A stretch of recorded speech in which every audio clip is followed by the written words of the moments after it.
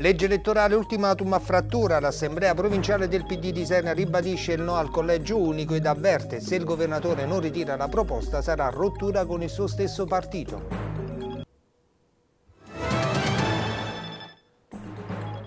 Cardarelli sotto controllo, il forum per la sanità di qualità torna a contestare il piano operativo regionale e denuncia ancora la riduzione del ruolo dell'ospedale di Campobasso, chiesta al Consiglio Comunale del Capoluogo la costituzione di una commissione di controllo. Acqua razionata emergenza idrica, a partire da domani ridotto il flusso in tutti i comuni della regione, rubinetti a secco di notte in molti centri del Molise, Petraroia denuncia la cattiva gestione di Molise Acque. San Pietro Avellana festeggia il tartufo, chiude con successo la ventitresima edizione della mostra mercato del tartufo bianco, quest'anno caratterizzata dall'inaugurazione del museo archeologico.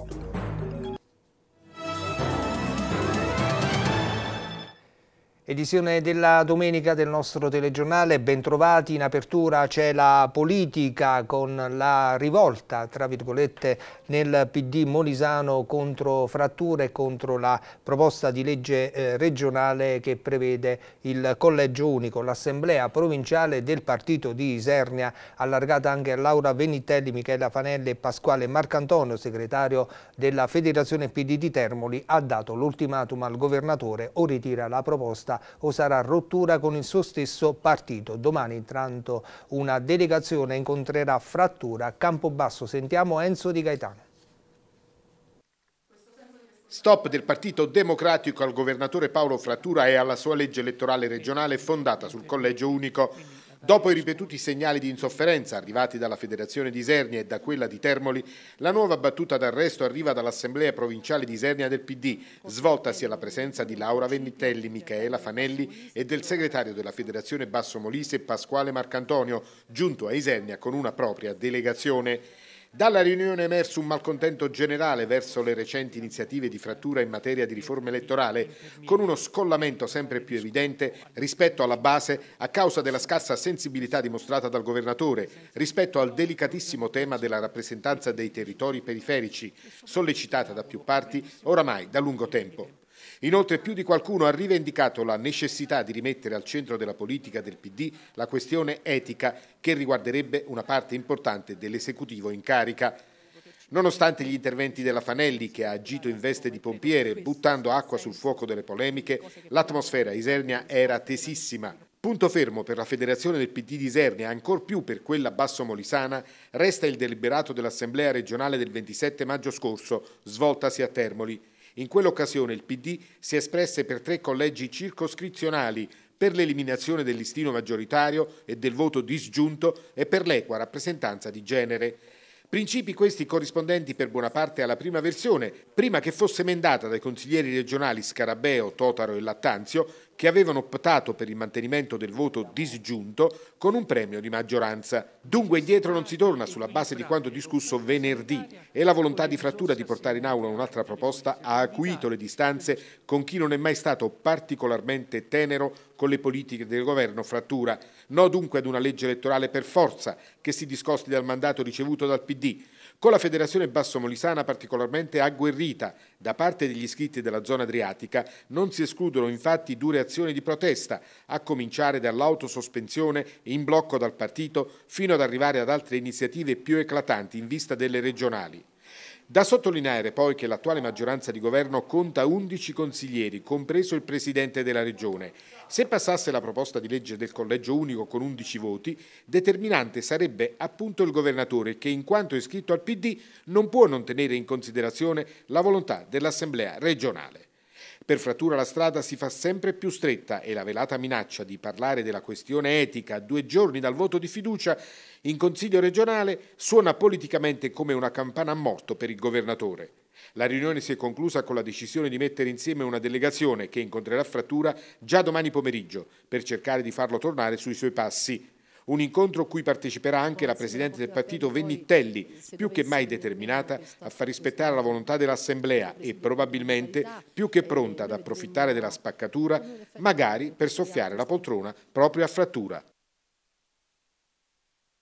Cambiamo argomento perché torna a farsi sentire il Forum per la Sanità Pubblica di Qualità e lo fa chiedendo l'intervento del Comune di Campobasso. Sentiamo perché. Non molla la presa il Forum per la sanità pubblica di qualità in merito ai problemi tecnico-operativi del piano sanitario regionale e lo fa stavolta chiedendo l'intervento del Consiglio Comunale di Campobasso come organo istituzionale rappresentativo del capoluogo di regione.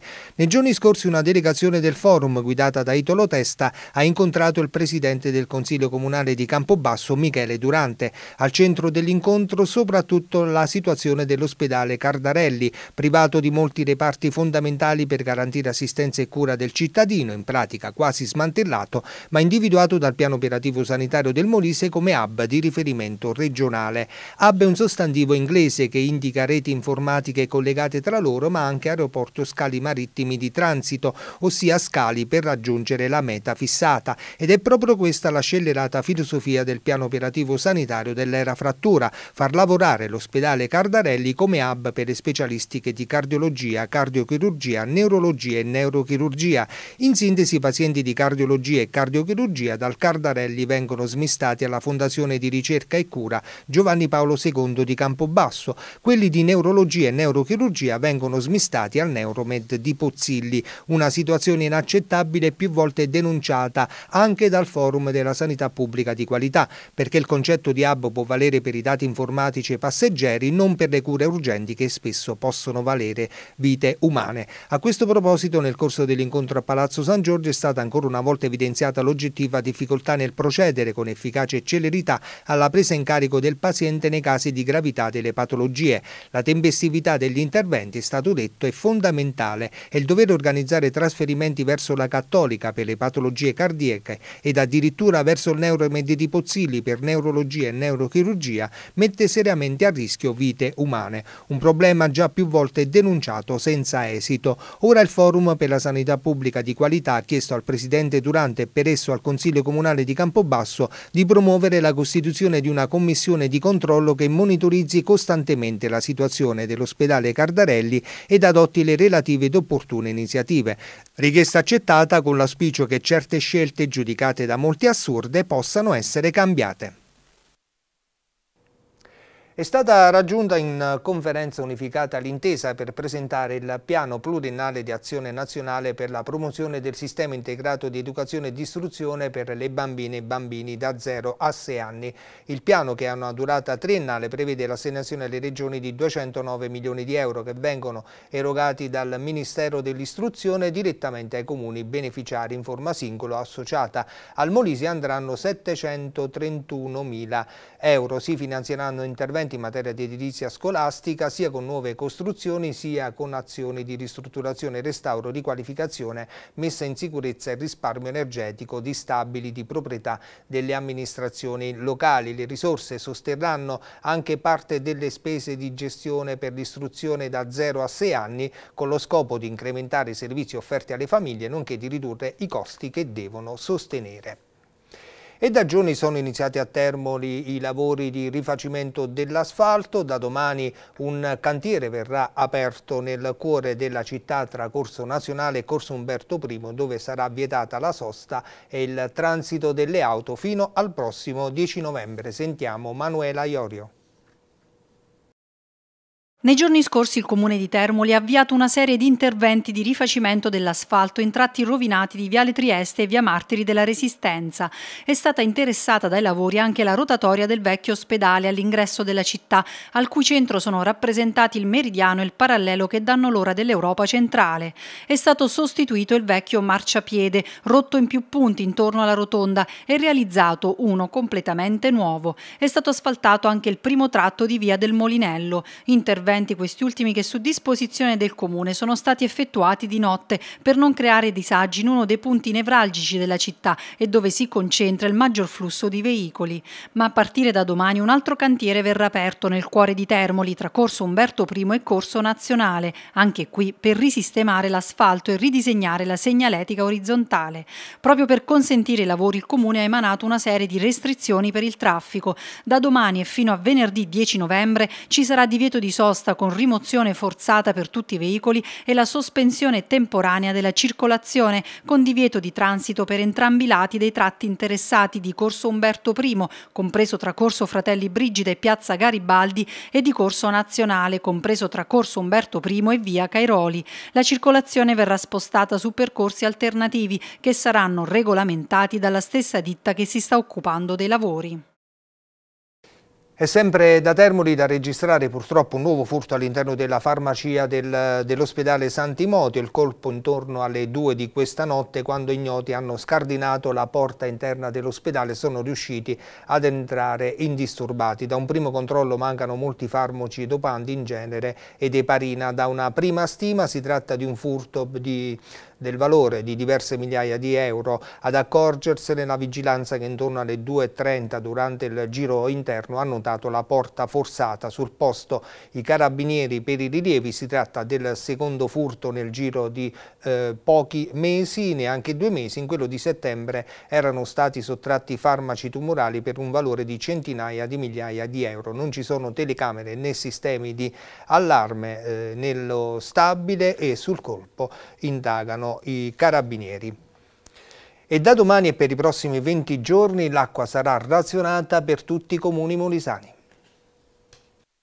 Nonostante il mese novembre ed una stagione d'autunno che dovrebbe essere caratterizzata da copiose piogge, Molise per la pressoché totale mancanza di precipitazioni ed anche per una non corretta gestione della situazione è ancora una volta emergenza idrica.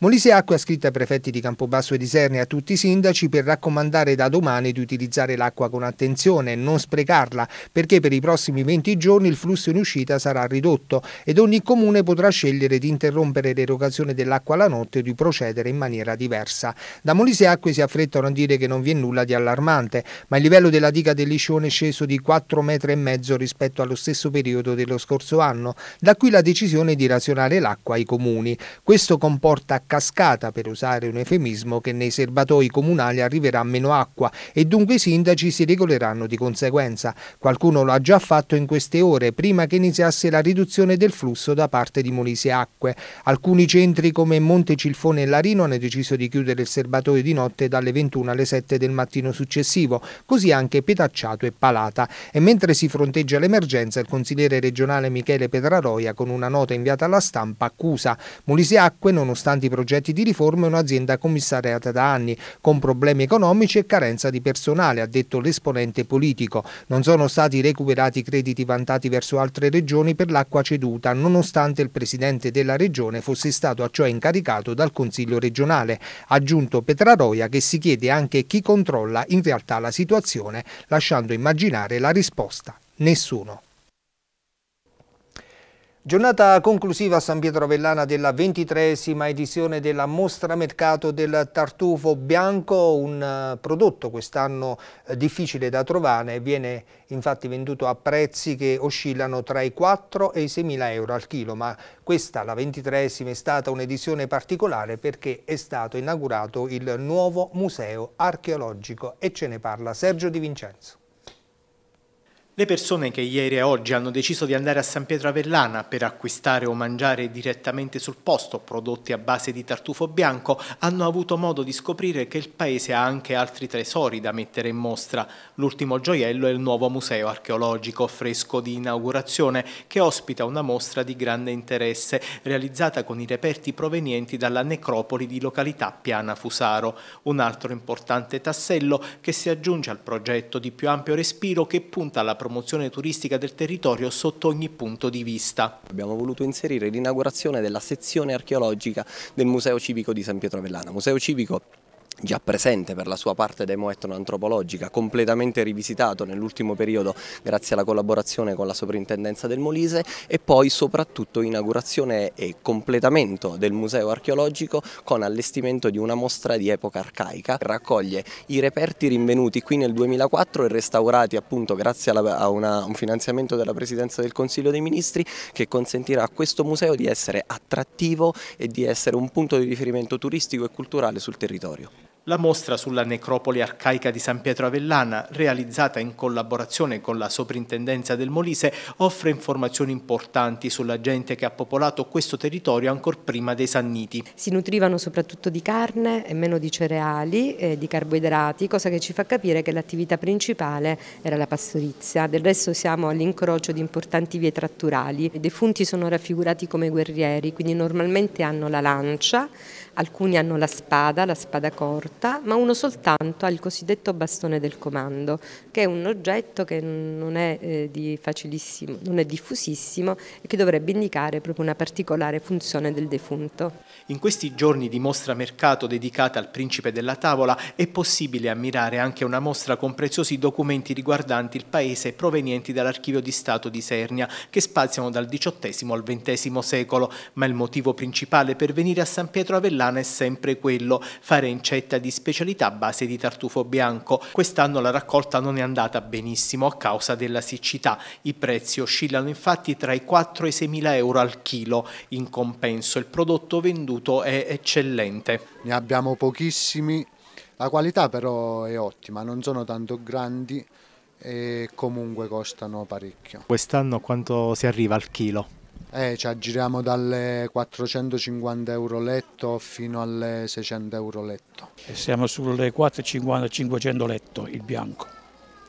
L'uncinato sta a 500 a chilo. Con il proseguire di questa siccità abbiamo avuto questa realtà di oggi che è la mancanza eh, di tartufo, quasi l'assenza se vogliamo, ma quello che c'è fortunatamente è molto molto prelibato e di ottima qualità, eh, però molto molto raro se vogliamo. Ecco. È tutto per questa edizione della domenica del nostro telegiornale, grazie a voi come sempre per aver scelto l'informazione di Telemolisi, arrivederci.